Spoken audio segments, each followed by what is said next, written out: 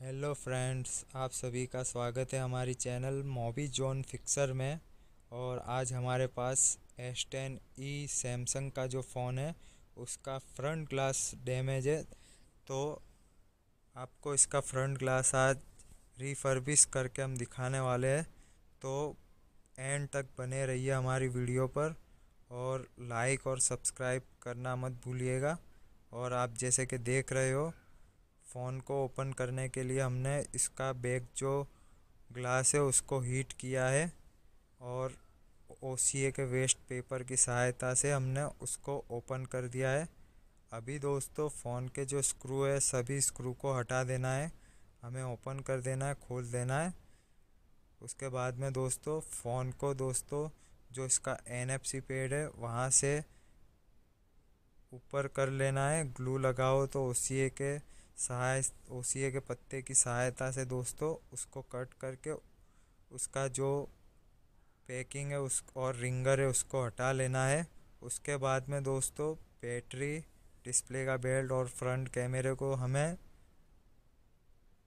Connector को निकाल के मदरबोर्ड को निकालना है। अभी इसमें स्क्रू भी लगे हैं दोस्तों तो स्क्रू को पहले हमें ओपन कर लेना है। मदरबोर्ड पर भी स्क्रू लगे हैं। उसे भी ओपन करके हमें मदरबोर्ड को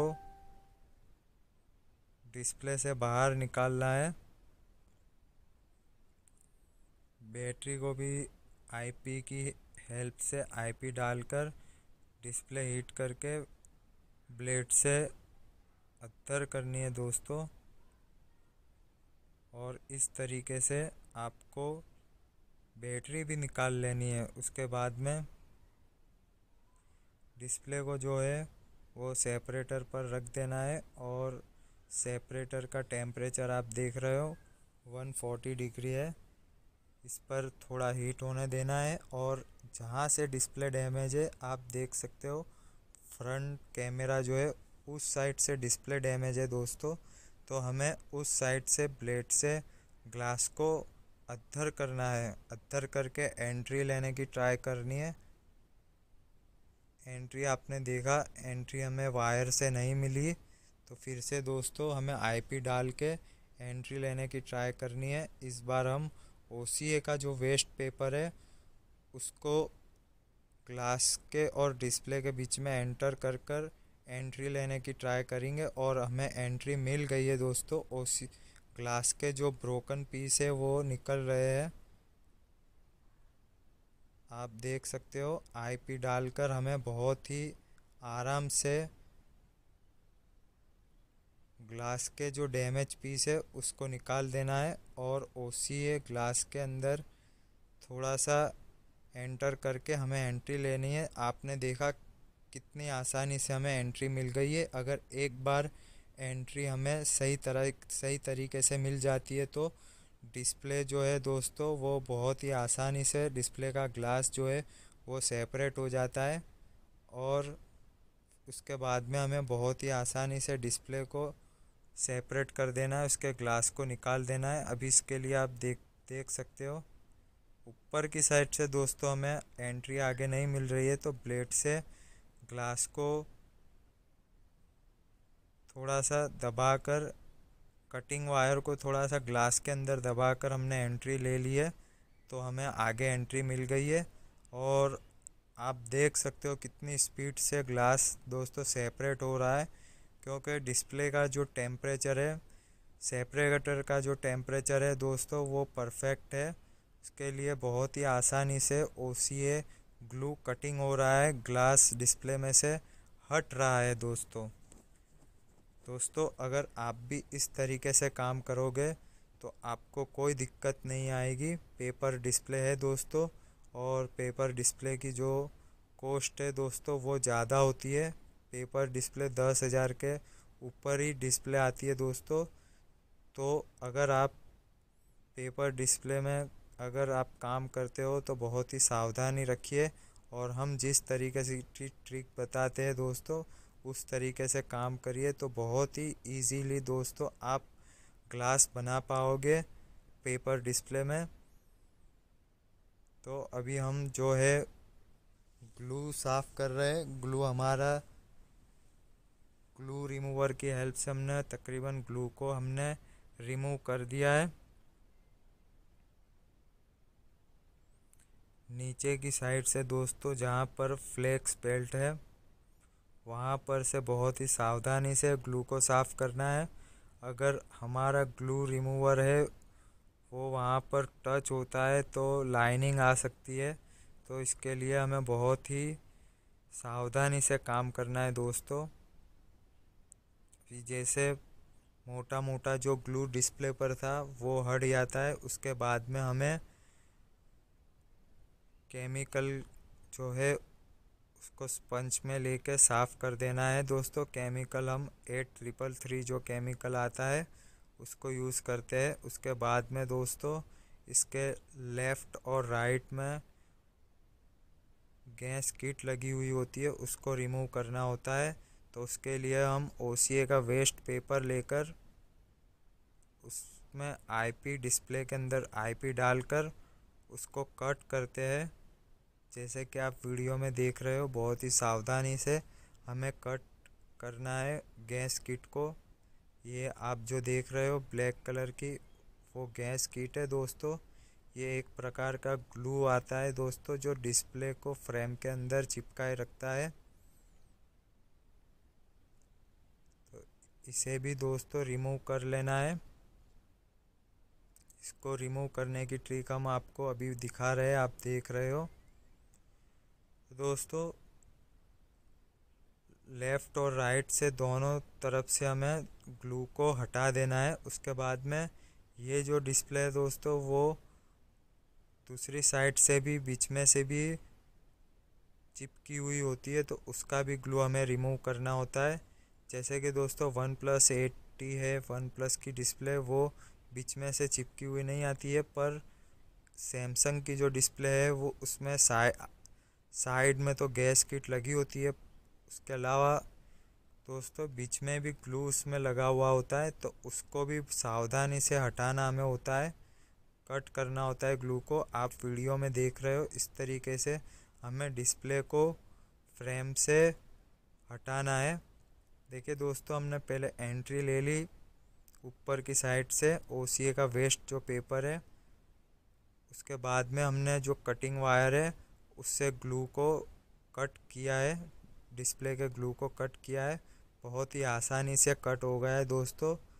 जब भी हम उस कटिंग वायर से डिस्प्ले को कट कर रहे हो दोस्तों, डिस्प्ले डिस्प्ले के ग्लू को कट कर रहे हो, तब हमें इसका बेल्ट आता है, डिस्प्ले बेल्ट आता है। उसका भी दोस्तों बहुत ही ध्यान रखना है।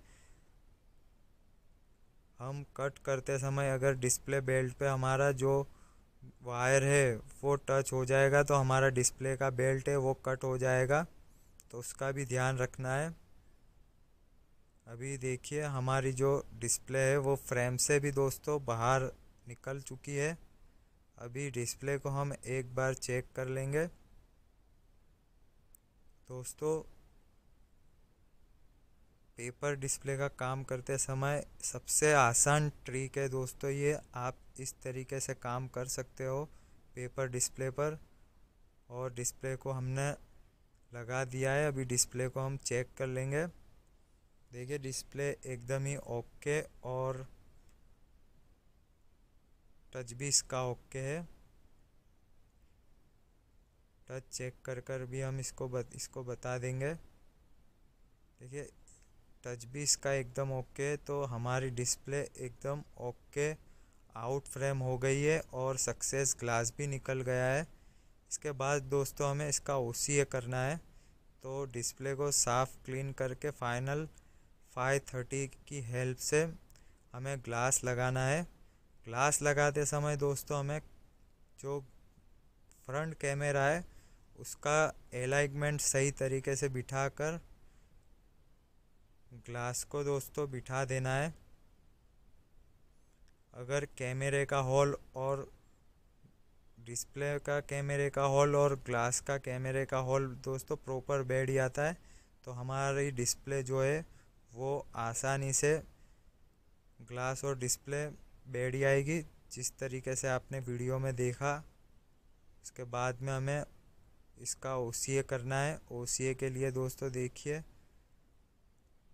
हम जो इसकी हीटिंग है, वो 55 पे रखते हैं। प्रेशर हमने 20 के आसपास रखा है। वैक्यूम टाइम जो है दोस्तों, हमने 40 रखा है और इसका जो लेमिनेशन पंचिंग टाइम है, वो 20 सेकंड रखा है।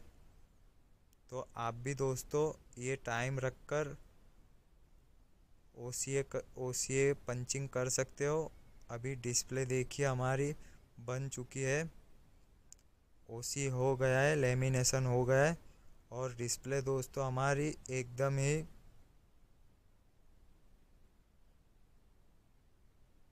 ज़ीरो ज़ीरो बनी है। दोस्तों, इसमें किसी भी प्रकार का कोई डस्ट भी नहीं है और कोई वेव नहीं आया है। एस टेन ई मॉडल ऐसा है, जिसमें वेव आने का प्रॉब्लम है।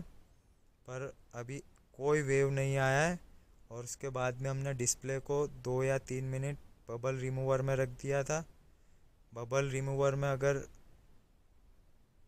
रखने के बाद चेक कर लेना है, बबल नहीं है, अगर बबल नहीं है डिस्प्ले में तो इसको यूवी क्योर कर देना है।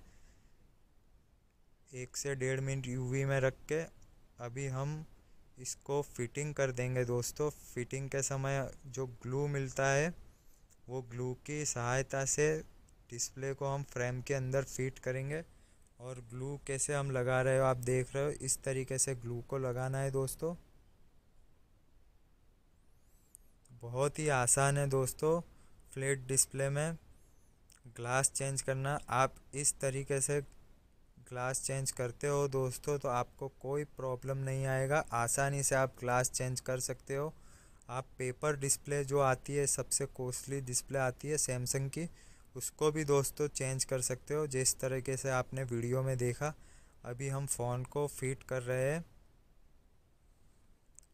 मदरबोर्ड हमने फ्रेम के अंदर लगा दिया है डिस्प्ले चिपका दिए और कैमरा बैटरी और जो डिस्प्ले का बेल्ट है, वो हमने कनेक्ट कर दिया है मदरबोर्ड के साथ। उसके बाद में जो एनएफसी बेल्ट है और उसका पत्ता है और रिंगर है, उसको स्क्रू मार देंगे और बैक ढक्कन दोस्तों उसमें ग्लू लगा ही हुआ होगा।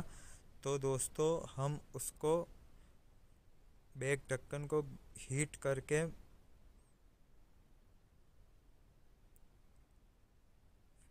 किसी भी ग्लू लगाए बिना दोस्तों कंपनी का ही ग्लू यूज़ करके हम उसको फिट कर देंगे। तो दोस्तों आप इस तरीके से एस टेन ई की दोस्तों डिस्प्ले बना सकते हो बड़ी आसानी से। और आपको अगर हमारा वीडियो पसंद आया हो तो सब्सक्राइब कर लीजिएगा, लाइक भी कर लीजिएगा दोस्तों। और फाइनली हमें देखिए रिंग रबर की सहायता से हमने जो बैक कवर और डिस्प्ले लगाई है उसको फिट कर दिया है। उसके बाद मैजिक टेप से ऊपर नीचे से दोस्तों लगाकर हमें उसको भी फिट कर देना है। आप वीडियो में देख रहे हैं, इस तरीके से फिटिंग कर देना है।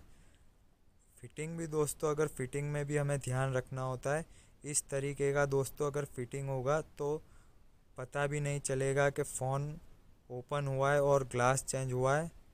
तो दोस्तों, आप इस तरीके से काम कर सकते हो। फ़ोन का थैंक यू दोस्तों।